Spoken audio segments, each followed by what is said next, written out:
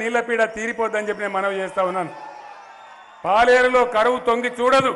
బ్రహ్మాండంగా ముందుకు పోతుంది తప్ప వెనుకకు పోదని నేను మనవి చేస్తా ఉన్నా. పార్టీల వైఖరులు చూడాలి. ఏం మాట్లాడుతున్నారు కాంగ్రెస్ నాయకులు?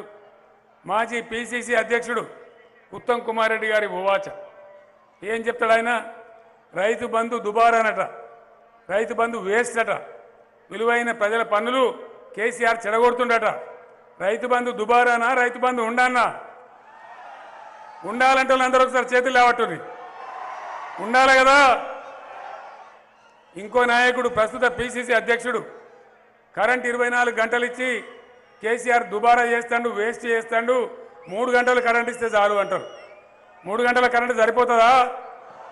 ఎన్ని గంటలు ఉండాలి? వినబడతలేదు. ఇరవై నాలుగు గంటలు ఉండన్నా ఇరవై నాలుగు గంటలు ఉండాలంటే చేతులు లేవటాలి ఒకసారి దయచేసి. నేను ఎక్కడ అడిగినా తెలంగాణ నాలుగు మూలలలో ఇదే విధంగా ప్రజలు చెప్తా ఉన్నారు. కానీ కాంగ్రెస్ నాయకుల వైఖరి రైతు బంధు వేస్తూ ఇయ్యద్దు మంచిగా మనం పంచుకొని తినాలి ఇయ్యద్దు కానీ రైతు బీమా వేస్తూ కరెంట్ ఇరవై నాలుగు గంటలు ఇయ్యద్దు మనం మాత్రం హైదరాబాద్లో ఎయిర్ కండిషన్లలో ఉండాలి. ఇది వీళ్ళ నీతి. దయచేసి పొరపాటున కనుక కాంగ్రెసే గెలిస్తే ఏం జరుగుతుంది? రైతు బంధుకు రామ్ రామ్. దళిత బంధుకు జై భీం కరెంటు కాట కలుస్తుంది. క- కైలాసం వైకుంఠపాలి ఆటలో మళ్ళా పెద్దపా మింగినట్టు అవుతుంది మళ్ళా మొదటికి వస్తుంది కథ. ఏ గతి కావన్నో ప్రజలు నిర్ణయం చేయాలి. ఎందుకంటే ఇక్కడ ఈ జిల్లాలో ఒకరిద్దరు బహురూపుల నాయకులు ఉన్నారు వాళ్ళకు డబ్బు అహంకారం. డబ్బుతో మేము ఎవరినైనా కొనగలం ఏదైనా సరే చేయగలం అని అహంకారపూరిత మాటలు మాట్లాడుతూ ఉన్నారు. ఏం మాట్లాడతారు వాళ్ళు? ఆ నాయకులు ఎవరు?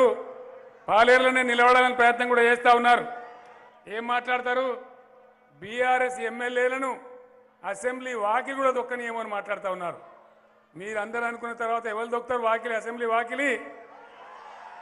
మీరందరూ అనుకుంటే దుమ్ములు ఇవ్వదా?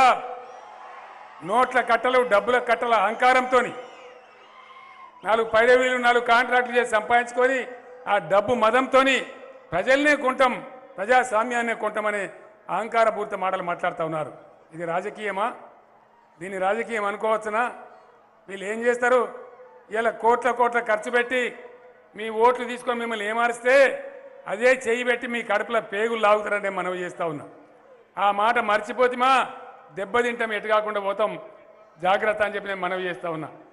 ఇంకొక మాట మిత్రుడు తుమ్మల నాగేశ్వరరావు నేను ఆయనకు అన్యాయం చేసిన ప్రచారం చేస్తూ ఉన్నాడు.